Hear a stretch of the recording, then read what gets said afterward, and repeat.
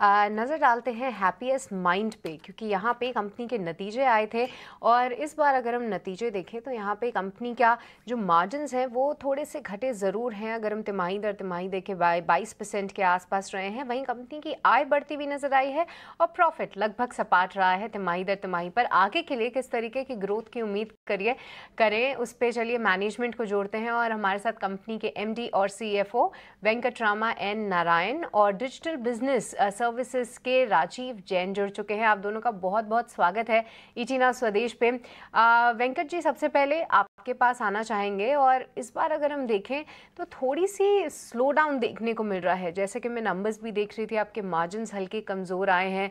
Growth rate में भी हल्की सी गिरावट देखने को मिली है। हमसे बात करें कि आगे के लिए आप किस तरीके की डिमांड देख रहे हैं? क्या यहाँ से आ, कुछ तेज़ी की उम्मीद की जाए? कैसा है डिमांड डिमांड इन्वायरमेंट मैं मैं पहले ये बोलना चाहूँगा कि हमारा quarter result has been good एक तो आपको कंपैरिजन में दे, देखना चाहिए दूसरी आईटी कंपनी के कंपैरिजन में we are almost the leading company with respect to growth numbers dollar growth mein we have shown 3.6% growth uh, and in rupee total income has shown a 4.7% growth.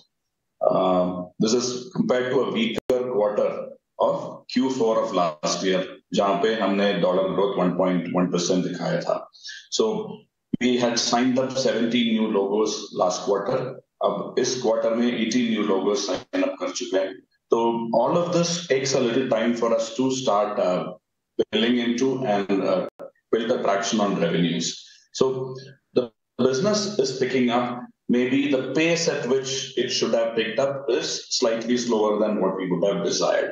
मगर fundamental growth तो है ही है हमारे business में। ये तो हमारे profitability में आपको दिखा रहा है।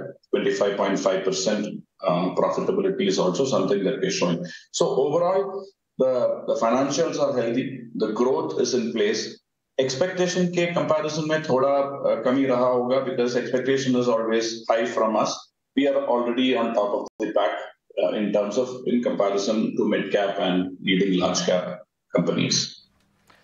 बिल्कुल राजीव जी आ, के पास अब मैं अगले सवाल के साथ लौटूँगा राजीव जी आ, अगर हम बात करें तो यूएस में मंदी और एडटेक वर्टिकल इन सब के बारे में बहुत बात हो रही है लेकिन क्या आप हमें बताएँगे कि ये जो सुस्ती की बात चल रही है क्या ये यूएस और बीएफएसआई तक ही सीमित है या ये ट्रिकल करेगी यूरोप और बाकी अन्य वर्टिकल तक भी।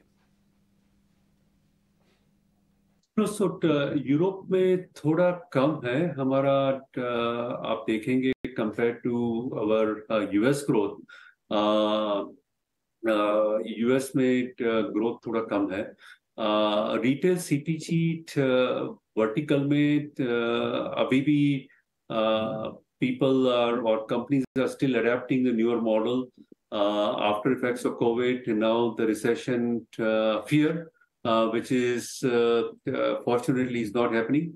BFSI में अभी आपने देखा कि Moody's ने भी थोड़ा डाउनग्रेड किया है some banks को last night, so that has an impact. rate higher interest rate has an impact. So BFSI में थोड़ा impact है. But at the same time आप देखेंगे कि नया टेक्नोलॉजी से अडेप्शन हो रहा है which is still growing.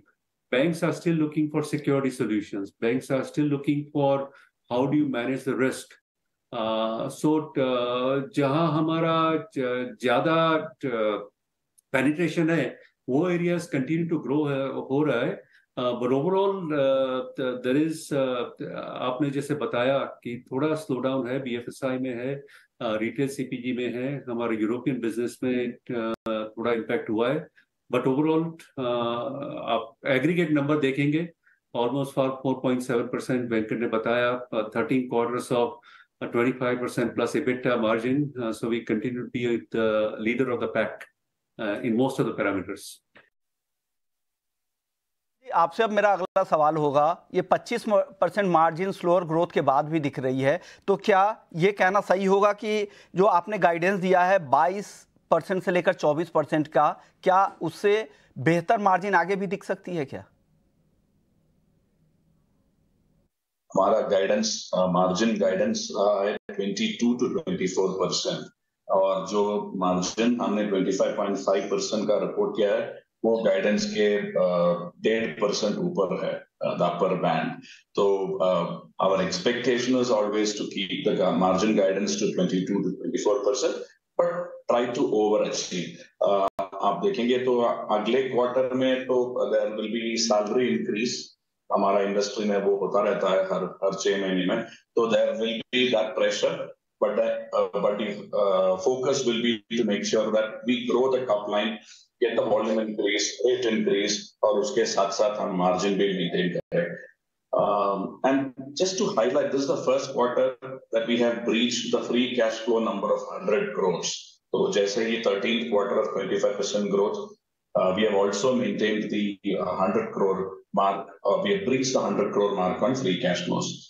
Uh, के साथ साथ आपको रिटर्न ऑन कैपिटल एम्प्लॉयड और रिटर्न ऑन इक्विटी भी देखना चाहिए। वो भी बेहतर रहा fifty six and thirty three percent so we are performing well on the financial metrics growth का जो हम बात कर चुके हैं that also we are seeing reasonably good growth and coming in from existing business and new logos दोनों के मुताबिक।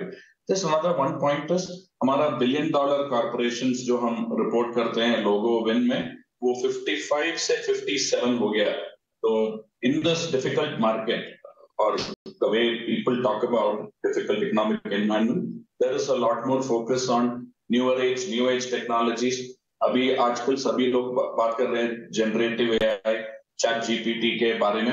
We are we are we are seeing strong interest and of take in that as well and as we speak we are selling those services into our existing customers quite quite seriously यानी growth को लेकर काफ़ी management काफ़ी bullish उनको लग रहा है कि जो मार्जिन ग्रोथ है, ये 25 परसेंट के ऊपर लगातार तेरहवीं तिमाही तक तो रही है। आगे भी बेहतर मार्जिन की उम्मीद की जा रही है। शुक्रिया राजीव जी आपका वेंकट रमन साहब आपका, आप लोगों ने वक्त निकाला ईटी नाउ स्वदेश के लिए। चलिए आगे बढ़ते हैं। किरण